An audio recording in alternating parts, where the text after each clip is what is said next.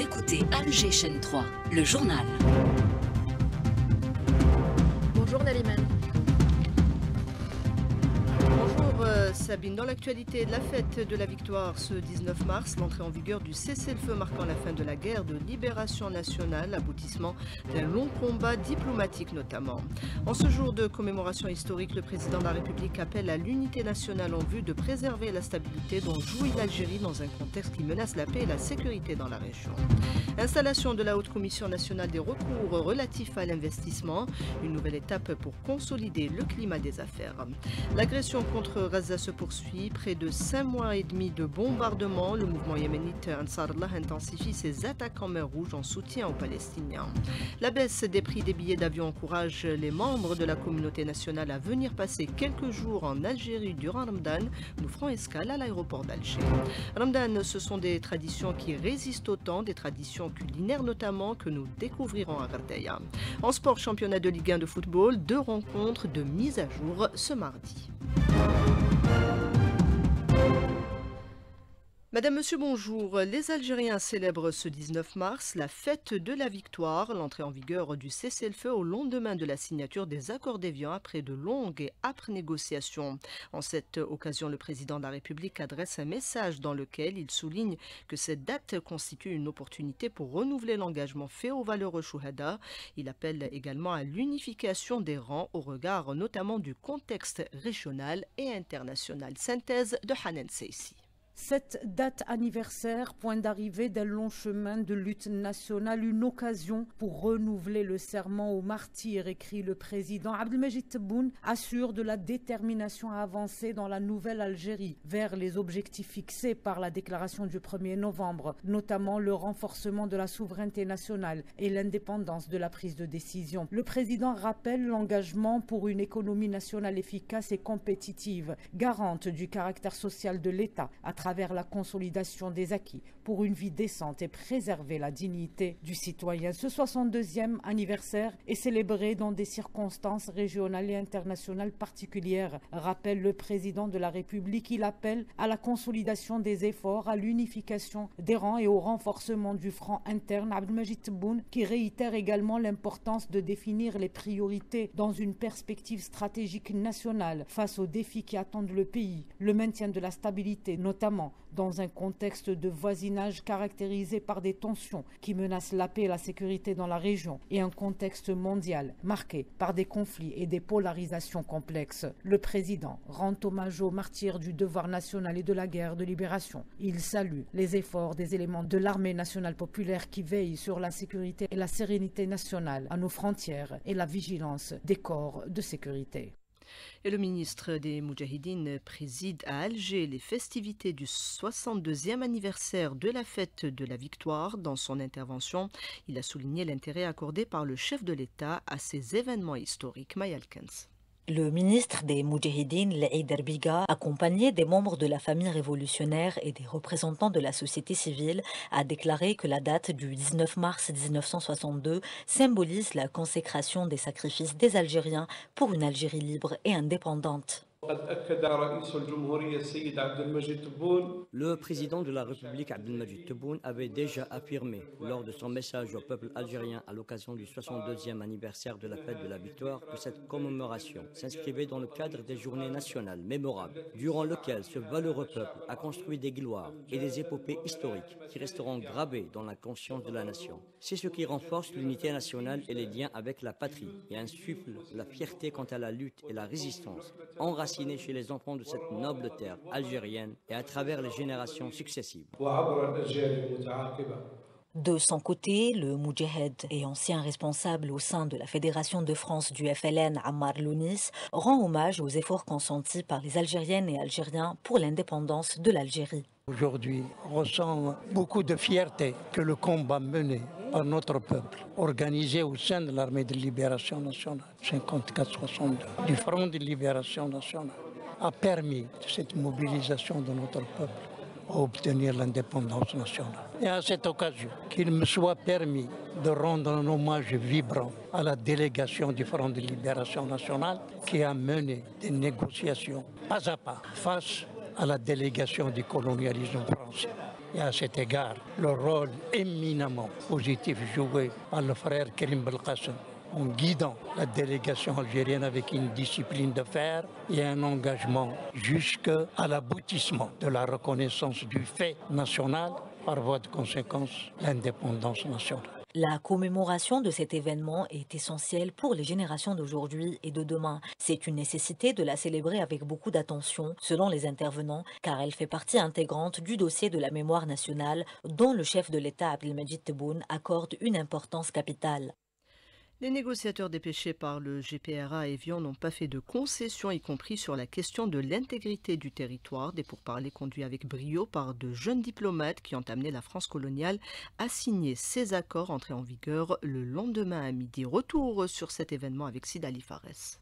Le cessez-le-feu entrera en vigueur les accords défiance sont les résultats des négociations entre les représentants du gouvernement de la République française et le gouvernement provisoire algérien pour aboutir à un cessez-le-feu et surtout mettre fin aux opérations militaires. Le journaliste et chercheur en histoire Montassero Patron revient sur les négociations des Algériens avec les Français. D'abord avec Abdelkader en 34 et en 37, qu'on appelle les accords Michel et les accords de la Tafna, mais bien sûr la France n'a jamais tenu euh, promesse, tout comme elle n'a pas euh, ses promesses lors de son débarquement à Sidi-Frej, où elle a promis de protéger les citoyens, de leur préserver leur liberté, leur us et coutumes, leur religion. Euh, bien sûr, avant que ces accords de Bromont et Hussein ne sèchent leur encre, que voilà, les massacres ont commencé, l'entreprise de péage qui s'est poursuivie jusqu'à 1962. Le cessez-le-feu est la fin de la colonisation française en Algérie. C'était la fin du mythe de l'Algérie française, un mythe qu'il a fallu au peuple algérien présenter carrément plus de 10 millions de chouhada pour l'atteindre enfin. Donc toutes les phases de cinq républiques se sont succédées dans leur entreprise coloniale génocidaire pour s'accaparer de cette Algérie et en faire une partie de la France. Gloire à nos martyrs et aux hommes qui ont fait que l'Algérie soit indépendante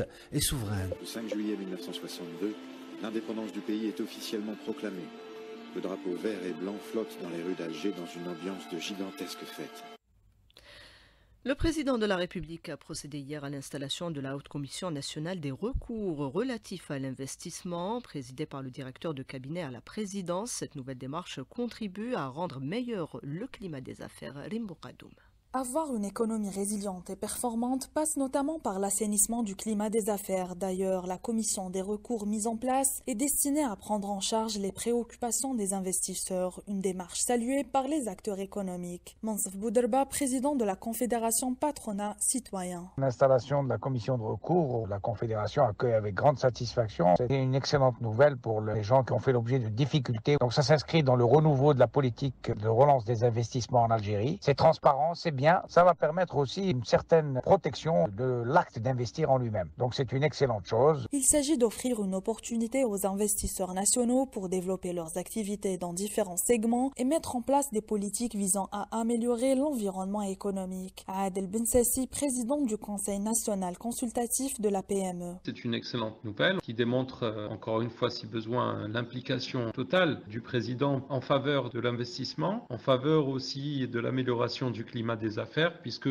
cette commission va permettre aux entrepreneurs qui n'ont pas eu l'opportunité de réaliser leurs investissements en temps et en heure à cause des difficultés bureaucratiques rencontrées et autres, de pouvoir défendre euh, leur dossier et la viabilité de leur dossier, de la mettre en avant ainsi et de pouvoir avoir une voie de recours euh, officielle. Plusieurs mesures sont prises et des réformes sont engagées pour relever le défi de l'émergence économique du pays dans un contexte international complexe. Les participants au Forum économique sur l'énergie en Afrique ont appelé à la concrétisation de l'intégration économique entre les pays du continent pour faire face aux déficits enregistrés dans le domaine de l'énergie. Lors du forum organisé à Alger, les intervenants ont tenu à souligner que le développement en Afrique passe initialement par la réalisation d'infrastructures de base solides dans le domaine. La rapporteuse spéciale des Nations Unies sur la situation des droits de l'homme dans les territoires palestiniens occupés affirme que l'acharnement de l'entité sioniste contre les rapports porteur onusien était motivé par sa volonté de poursuivre son génocide à huis clos et loin des témoins.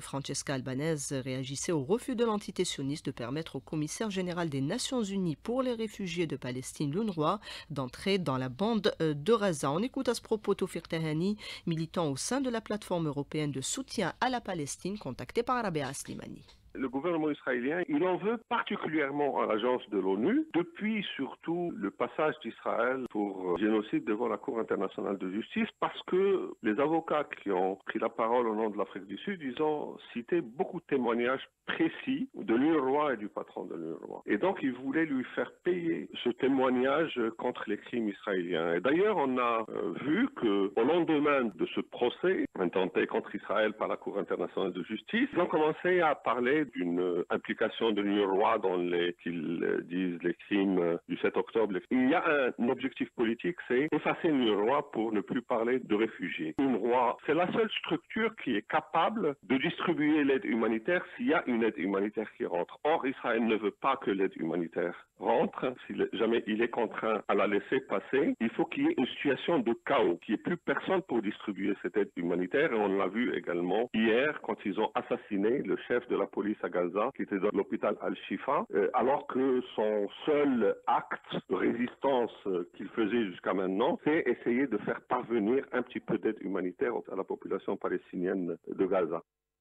Le mouvement yéménite Ansarallah intensifie ses attaques en mer Rouge et dans le golfe d'Aden. Des navires ont été une nouvelle fois ciblés. Le mouvement menace d'aller encore plus loin tant que l'agression contre Reza se poursuivra.